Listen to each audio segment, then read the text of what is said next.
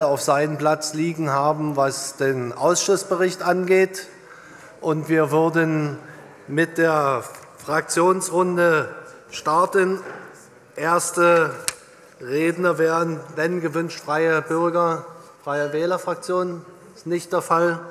FDP-Fraktion nicht der Fall. Dann würde die AfD Herr Lommel jetzt dran sein.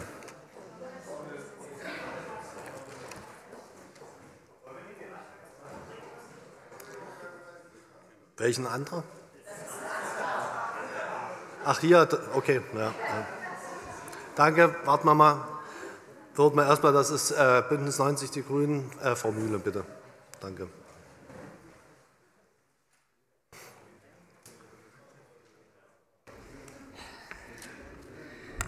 Äh, sehr geehrter Herr Erster Bürgermeister, lieber Stadträtinnen, liebe Menschen, die es bis jetzt noch im Stream ausgehalten haben.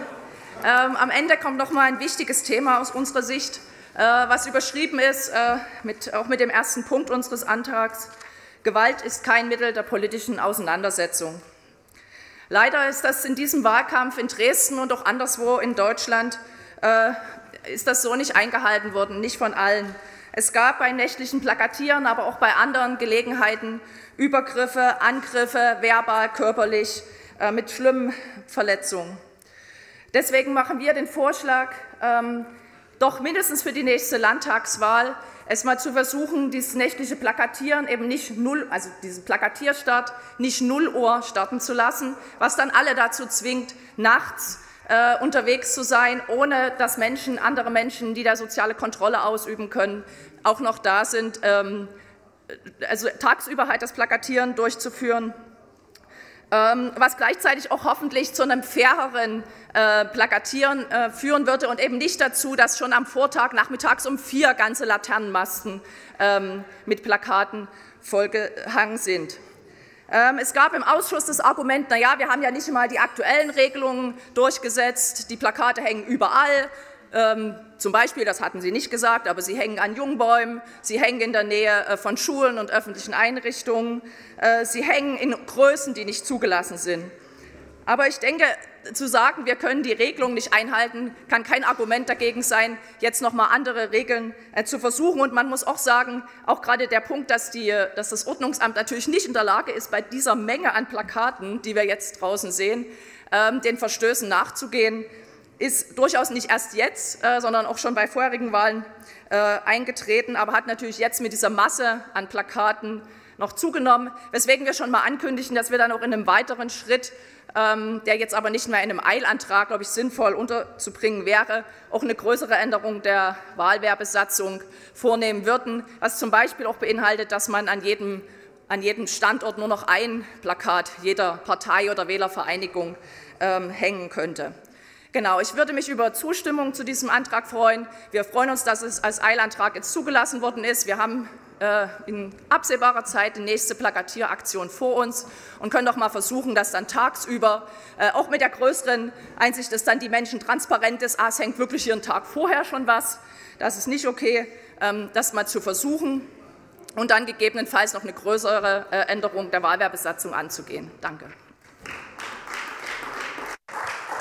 Okay, dann wollen wir jetzt in die Fraktionsrunde starten. Herr Lommel, bitte.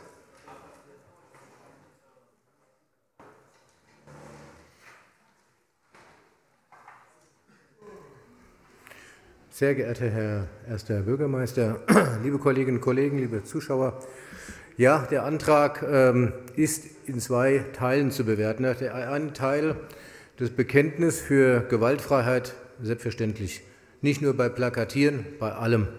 Wir haben leider im Wahlkampf sowohl bei der einen Seite wie auch bei anderen Seiten Gewalt erlebt. Und ähm, es ist eine Selbstverständlichkeit, dass man sich dagegen ausspricht. Und es ist auch etwas Schlimmes.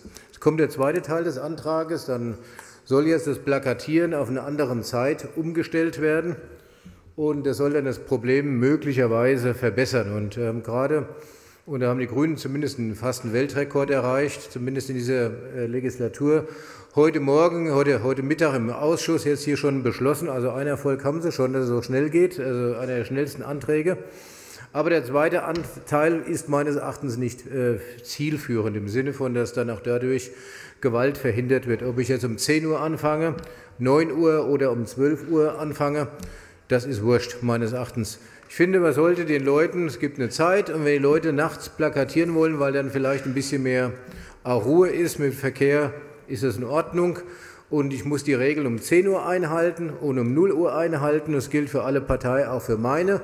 Äh, haben vielleicht die meine, auch andere Parteien dagegen verstoßen. Ich weiß es nicht. Auf jeden Fall liegt es an uns, das ein Stück weit zu verbessern. So, und ansonsten Bekenntnis für Gewaltfreiheit bei Plakatieren. Ja, weitere Regelungen nein. Vielen Dank. Dann würde ich noch mal Frau Mühle fragen, wollen Sie noch mal? Okay. Okay, dann CDU-Fraktion, Mario Brauns.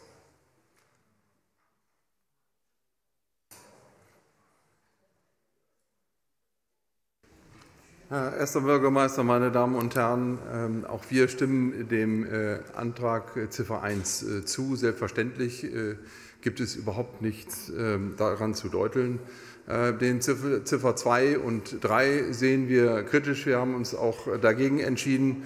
Ähm, das Wichtigste wäre eigentlich, dass wir uns, da kann ich Herrn Lommel nur zustimmen, dass wir uns, und ich glaube, das warten, erwarten unsere Bürger, dass wir uns an die Regeln, die wir uns die wir der Stadt geben, letzten Endes uns selbst also an uns halten, an uns, äh, uns an diese Regeln halten. Und das ist, wer losgefahren ist und wer wie ich um 0 Uhr angefangen hat äh, zu plakatieren, äh, der hat kaum noch einen freien Mast gefunden. Und das ist völlig inakzeptabel. Und das geht nicht. Und das ist der eigentliche Punkt, den wir mal, äh, den kann man nicht beschließen, sondern das ist eigentlich eine Ehrensache, äh, dass man so etwas nicht macht. Äh, und deswegen macht es jetzt auch wenig Sinn, äh, einen Zeitraum vorzuverlegen, soziale Kontrolle. Ähm, ich glaube, ähm, äh, der andere Aspekt ist auch die Sicherheit derjenigen, die plakatieren. Und wenn Plakate aufgehangen werden dürfen, dann kann man natürlich selbstverständlich auch in der Art und Weise sein Auto parken oder mit welchem Gefährt man das auch immer macht, dass es in unmittelbarer Nähe des, ähm, der Plakat, des Plakatmastes ist. Äh, wie jedes andere Fahrzeug, ähm, der in einem besonderen Auftrag, wenn Sie so wollen, ist, äh, tätig ist, kann das auch. Wir halten das auch für keine äh, sinnvolle Regelung, jetzt auf 10 Uhr zu gehen. Ich nehme aber ausdrücklich, Frau Mühle, das Angebot an. Das hätte sonst auch von mir gekommen, wäre von mir gekommen, dass wir uns darüber unterhalten, wie wir die Wahlwerbesatzung ähm, noch verändern können, um insgesamt hier äh, eine bessere Regelung ähm, nach den Erfahrungen auch, äh, die wir haben machen müssen, äh, treffen zu können. Da gibt es noch verschiedene andere Punkte und da lassen Sie uns zusammenarbeiten. Aber so jetzt diesen Schnellschluss machen wir in, der, in dem Sinne nicht mit. Vielen Dank. Okay, dann Linksfraktion das Wort gewünscht. André Schäuber, bitte.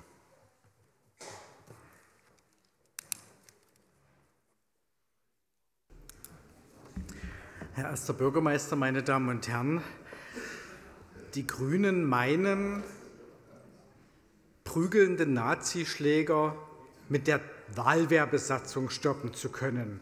Mit Verlaub, ich halte das für lächerlich. Das ist Unsinn. Erstens. Zweitens, zweitens, Herr Stadtrat Hans, ich plakatiere auch nachts, davon können Sie ausgehen. Zweitens ist das Verprügeln anderer Menschen in unserem Land bereits verboten. Das kann man in § 223 des Strafgesetzbuches nachlesen. Und wer gegen dieses Verbot verstößt, da, der erhält eine Geld- oder eine Freiheitsstrafe. Drittens. Wir haben eine gültige Wahlwehrbesatzung. Der Übergriff der Anlass für Ihren Antrag ist, Herr Stadtrat Hans, hat außerhalb der Zeiten dieser Wahlwehrbesatzung stattgefunden. So, das heißt, selbst wenn man Ihre Regeln anwenden würde, hätte sie diesen Übergriff nicht verhindert. Und das zeigt diese ganze Hilflosigkeit dieses Antrages. Meine Damen und Herren, ich finde, der Fachausschuss hat einen vernünftige, eine vernünftige Beschlussempfehlung abgegeben. Er empfiehlt nämlich dem Stadtrat, dass er jedwede Gewalt verurteilt. Dem werden wir auch zustimmen, den weiteren Punkten nicht. Und deshalb beantrage ich punktweise Abstimmung, nämlich Punkt 1 einerseits und die Punkte 2 und 3 andererseits. Vielen Dank für Ihre Aufmerksamkeit.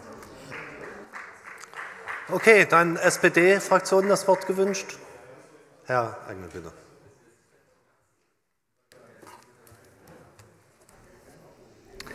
Ja, sehr geehrter erster Bürgermeister, liebe Kolleginnen und Kollegen, ähm, einige Vorrednerinnen und Redner haben natürlich recht. Ähm, man wird jetzt mit so einer Änderung der Satzung nicht alles äh, das Problem nicht lösen, das ist klar. Ähm, uns als Fraktion erscheint es trotzdem bedenkenswert, äh, mal da tatsächlich zu einem anderen Zeitpunkt auch zu kommen.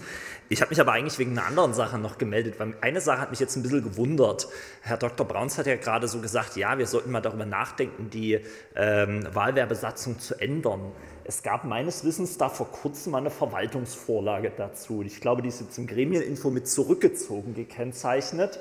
Und es gab bei, zu dem Thema, glaube ich, einen Änderungsantrag einer Fraktion, weil wir waren auch nicht wirklich zufrieden mit der Vorlage, haben uns dann die Mühe gemacht, da mal ein bisschen tiefer reinzugehen und zu sagen, das wollen wir, das wollen wir nicht. Der ist, glaube ich, im System auch noch abrufbar. Von anderen Fraktionen konnte ich das hingegen nicht erkennen.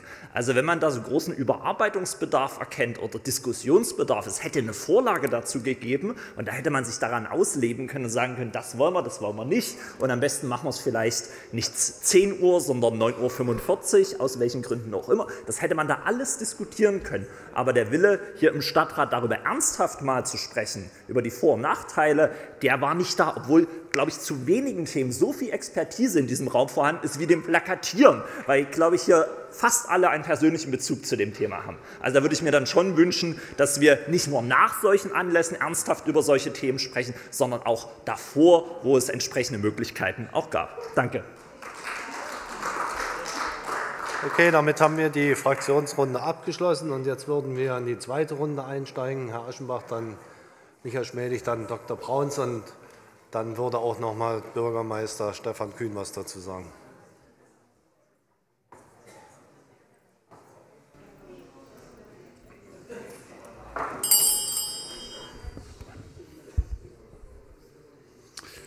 Uhu.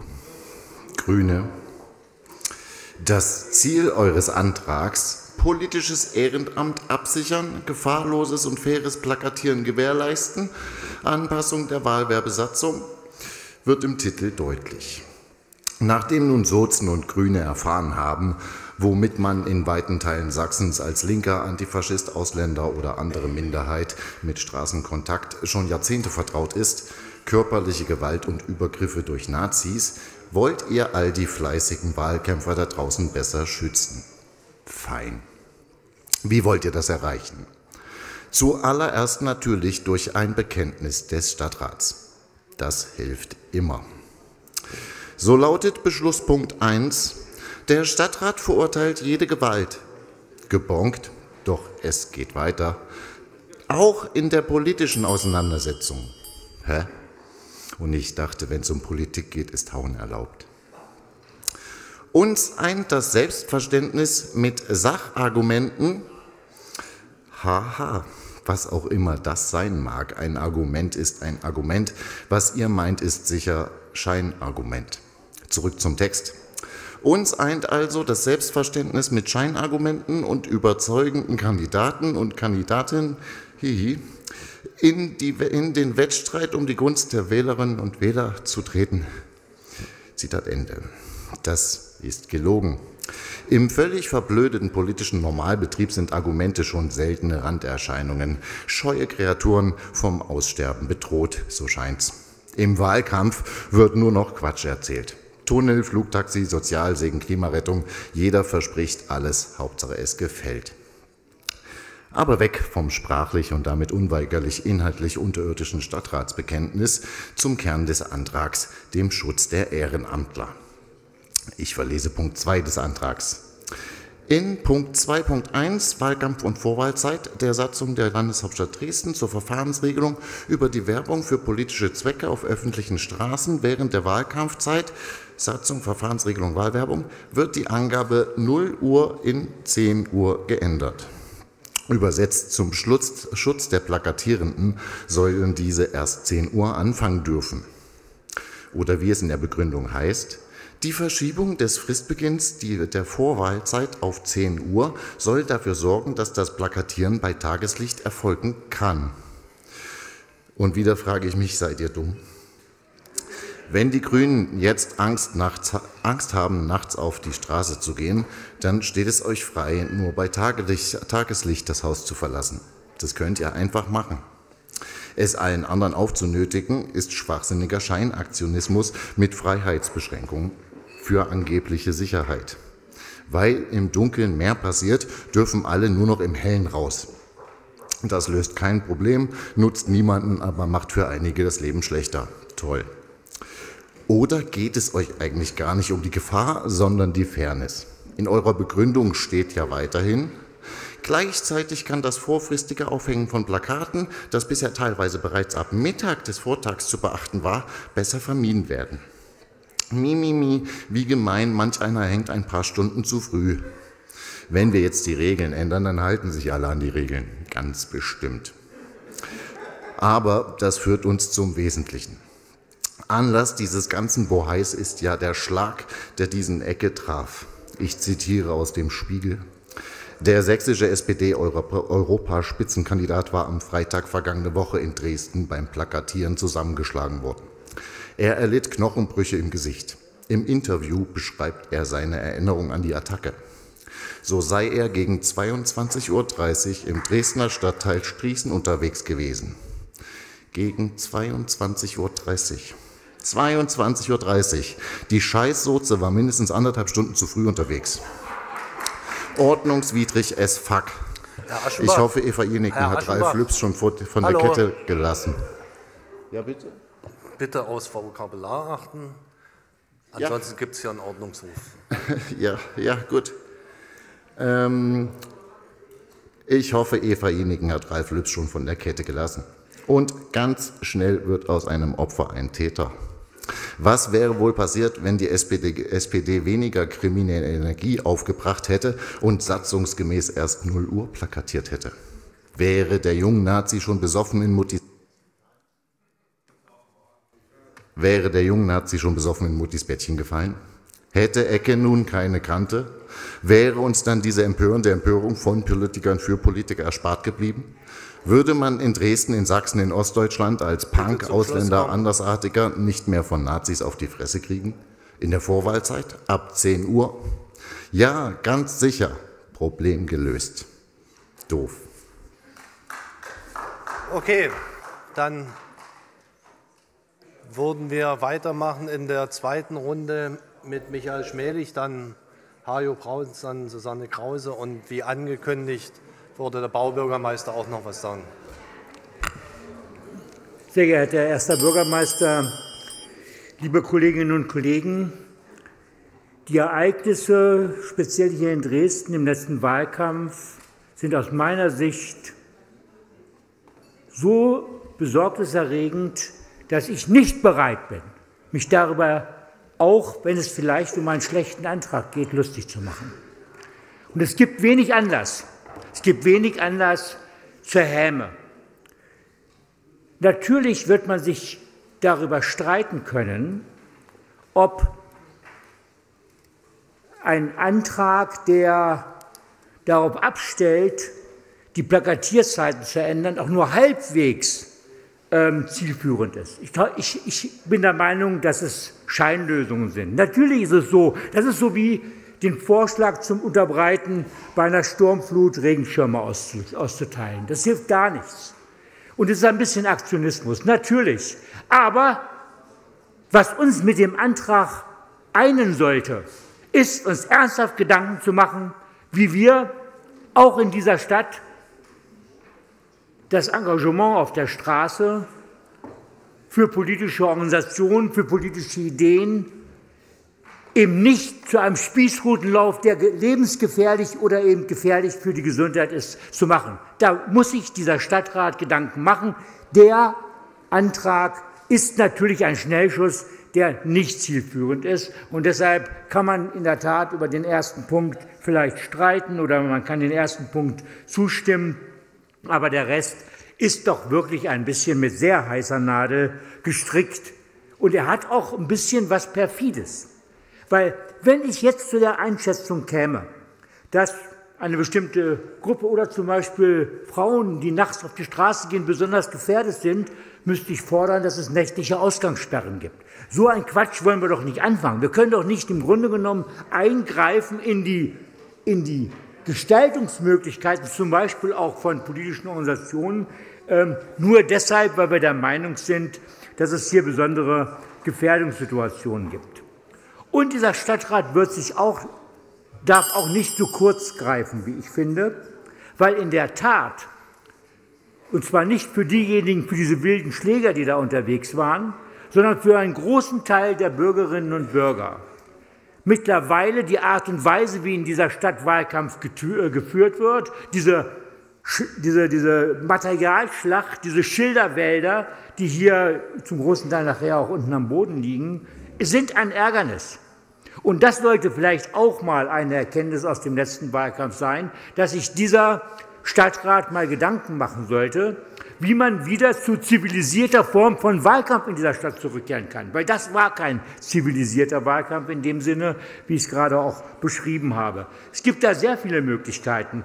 Sie wissen ja vielleicht, dass, äh, ist in ganz Niedersachsen zum Beispiel so, dass äh, keine Wildplakatierung in dem klassischen Sinne passiert, sondern dass große Tafeln aufgestellt werden, die kandidierenden Parteien und Wählervereinigungen sich dann dort irgendwie auch präsentieren können, aber eben nicht überall an jeder Häuserwand vor jedem ähm, in, in, in, jeder Nebenstraße ein entsprechender ähm, äh, Schilderwald sozusagen gepflanzt wird der ja dann auch äh, im Regelfall durch auch Vandalismus natürlich äh, zum Stolper zur Stolperfalle für viele Fußgänger werden wird. Und nicht nur Fußgänger, sondern auch Fahrradfahrer äh, sind davon betroffen gewesen. Also es gibt sicherlich viele Gründe, über die Wahlkampfsatzung sich Gedanken zu machen. Und ich finde, das sollte der neue Stadtrat auch tun. Das kann ich nur empfehlen, auch als jemand, der für viele Wahlkämpfe auch äh, in dieser Stadt verantwortlich war. Aber wir sollten weder mit Häme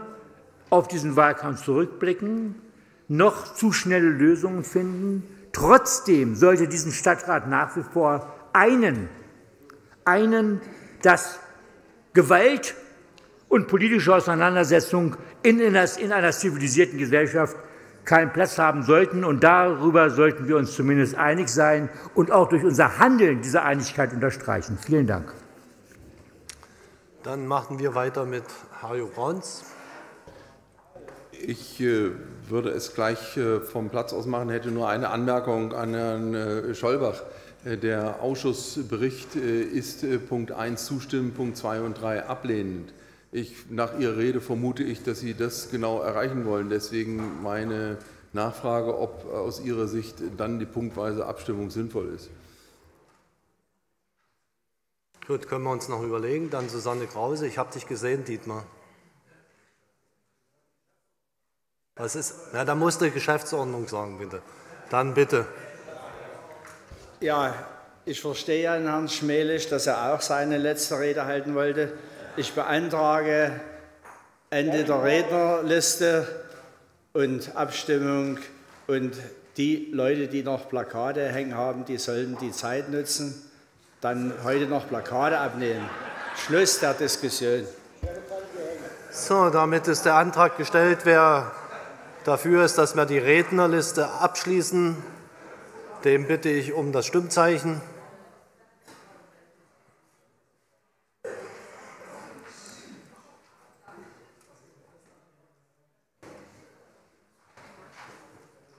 Mit 50 Ja, 5 Nein, 0 Enthaltung so beschlossen. Dann würde jetzt noch Susanne Krause reden, dann das Schlusswort der Grünen und dann noch äh, Bürgermeister Kühn. Oder machen wir das da als Schlusswort? Ja, ich würde das als Schlusswort äh, okay. anbieten. Ähm, ja, ich, Michael Schmelich hat schon ein paar Sachen gesagt, die ich auch sehr wichtig finde. Ich finde es schon ein bisschen interessant, dass jetzt äh, das so ins Lächerliche gezogen wird, wo wirklich schlimme Dinge passiert sind. Und nein, natürlich bilden wir uns nicht ein, dass wir so das Problem mit Rechtsextremismus auf unseren Straßen lösen können. Das ist ganz klar. Da gibt es noch ganz viele andere Aufgaben, die wir erledigen müssen. Und das äh, schieben wir auch nicht von uns, sondern das wird stetig weiter unsere Aufgabe und auch unser Bemühen hier in diesem Stadtrat sein. Es geht darum, einen Anreiz zu schaffen, nicht schon in der Nacht loszugehen. Genau das, was hier auch vorgetragen wurde, 22.30 Uhr. Und wenn Sie mal ehrlich sind, viele von uns fangen auch schon vor Herrn Dr. Brauns an zu plakatieren. Und warum passiert das? Es passiert, weil eben explizit drinsteht in der jetzigen Wahlwerbesatzung, dass der Beginn 0 Uhr ist. Wäre das nicht so, würden die Leute nicht schon im Dunkeln losgehen. Davon bin ich relativ stark überzeugt. Und was das Thema Fairness äh, im Wahlkampf angeht, dann kann man wirklich auch sagen, diejenigen, die auf professionelle Dienste zurückgreifen, sind häufig wirklich schon mittags, Freitag am Mast. Und ich empfinde das als sehr unfair und ich weiß, manche Parteien, da haben wir jetzt weniger ein Problem, haben eine relativ hohe Altersstruktur. Die Leute gehen auch nicht nachts unbedingt los. Und insofern fände ich es eigentlich fair, einen Anreiz zu schaffen, diesen Beginn, nur den Beginn des Plakatierens eben nicht so eindeutig in die Nacht zu legen. In der Folge, und jeder von uns weiß das, in den Tagen danach wird weitergehängt, es wird verdichtet, wir hängen auch noch mal andere Motive, je nachdem, die Kampagnen sind verschieden. Da kann jeder hängen, wann und wie er will. Es geht nur um diese erste Nacht, wo es eben immer darum geht, uns allen strategisch günstige äh, Standorte zu finden.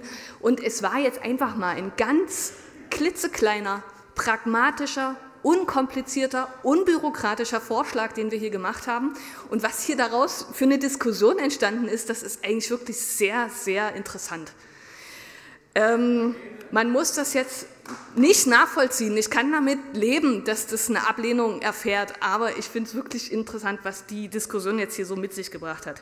Man hätte auch noch mal sagen können, wir wollen es nur für die Landtagswahl, wir wollen es mal ausprobieren. Das habe ich im Ausschuss angeboten, ist niemand drauf eingegangen. Man hätte sagen können, wir nehmen eine andere Uhrzeit. Wir wollen schon 7.30 Uhr am Mast sein, wäre auch möglich gewesen. Aber auf diese Dinge ist nicht eingegangen worden. Und dann wollte ich noch einen Satz sagen zu dieser ver, äh, sozusagen ich, verunglückten äh, Vorlage der Stadtverwaltung. Äh, Stefan Engel hat es gesagt, es gab dann außer der SPD keinen weiteren Änderungsantrag, aber ich muss mal sagen, das lag auch an so ein paar Stilblüten, die da drin waren, bis hin zu Regelungen, wie mein Lieblingssatz war, das Verwenden von Schrauben und Befestigungsmittel aus Drahtgeflecht ist untersagt. Was ist das? Also ich weiß, was eine Schraube ist, aber was Befestigungsmittel aus, so, also es gab viele Dinge, die waren da noch nicht so ganz rund aus meiner Sicht. Und offensichtlich hat unsere Diskussionsfreude in den Ausschüssen dazu geführt, dass die Stadtverwaltung ganz verängstigt war und ihre Vorlage zurückgezogen hat. Ich bin unbedingt dafür, dass wir uns in der kommenden Legislatur damit noch mal auseinandersetzen. Auch dieses Beispiel aus Niedersachsen habe ich 2019 schon eingebracht. Damals war ich da auch in meiner Partei die Einzige, die das cool fand. Wir können das gerne weiter äh, entwickeln, das sollten wir auch tun. Und jetzt, äh, wir wollen das gerne auch noch mal punktweise abstimmen und ich will auch der Verwaltung noch mal danken, denn sie hat noch mal eine Verbesserung in die Formulierung gebracht. Deswegen bitte ich um Abstimmung der Beschlussempfehlung in den zwei Blöcken, Punkt 1 und getrennt Punkt 2 und 3. Dankeschön. Okay, eine Bemerkung noch von mir. Das äh, Drahtgeflecht, das war gängig in den 90ern und Anfang 2000er Jahren hat viel, viel Mühe gemacht. Aber jetzt Stefan Kühn. Das mit dem Drahtgeflecht kann ich bestätigen. Nein, aber ähm, zur Sache, auch weil es Stefan Engel angesprochen hat. Ähm, wir hatten eine Änderung der Wahlwerbesatzung äh, eingebracht, über deren Inhalt man ja trefflich streiten kann. Äh, ich glaube, der Zeitpunkt der Einbringung war nicht äh, günstig, weil alle schon sozusagen mit Blick auf den Wahlkampf sondiert haben, ob sie aus der Satzung irgendwelche Vor- und Nachteile haben. Ähm, die Verwaltung ist natürlich überhaupt nicht äh, verängstigt, ähm, zu keinem Zeitpunkt. Äh, ich würde Ihnen ähm, aber auch, was Herr Brauns angesprochen hat, ähm, ankündigen, dass wir unmittelbar nach der Konstituierung des neuen Stadtrates interfraktionell zusammenkommen wollen. Ich würde dann auch einladen zur Novellierung äh, der Wahlwerbesatzung. Ich denke, wir haben bei einer ähnlich anspruchsvollen Satzung, der berühmten Straßenkunstsatzung, ist ja auch hinbekommen, am Ende mit einer relativ breiten Mehrheit hier im Rat einen Kompromiss hinzubekommen. Und wenn uns äh, das äh, im Herbst für die Wahlwerbesatzung gelingt, dann haben wir vielleicht auch nochmal andere Rahmenbedingungen, fairere Rahmenbedingungen mit Blick auf die Bundestagswahl, die ja dann 2025 ansteht. Also das werde ich auf alle Fälle machen und ich würde mich da freuen, wenn es ein konstruktives Mitwirken der Fraktion, wie viel es dann auch immer sein werden, dann auch gibt. Okay, dann würden wir zur Abstimmung kommen und wie beantragt punktweise und vielleicht der Hinweis noch, weil Hajo Brauns danach gefragt hatte, wenn wir dann Punkt 2 zur Abstimmung stellen, würden diejenigen, die zustimmen, äh, entsprechend ablehnen. Ne? Dass das nochmal allen klar ist, das würde auch den Punkt 3 äh, bedeuten. Wer zustimmt, dort äh, lehnt dann zum Schluss ab. Okay, da würden wir mal in die Abstimmung einsteigen. Wer Punkt 1 zustimmen kann, den bitte ich um das Stimmzeichen.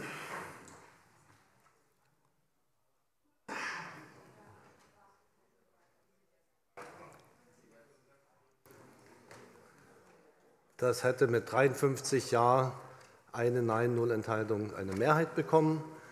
Ich rufe Punkt 2 auf. Wer hier seine Zustimmung geben kann? Wer zustimmt, lehnt ab.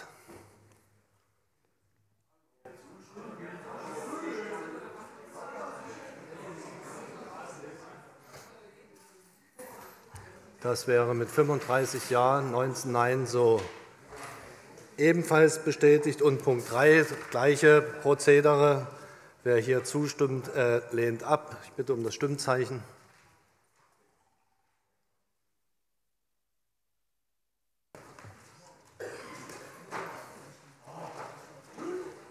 Das hätte mit 35 Ja, 20 Nein eine Mehrheit gefunden. Ich wünsche allen einen schönen Abend und wir sehen uns dann alle morgen 15 Uhr.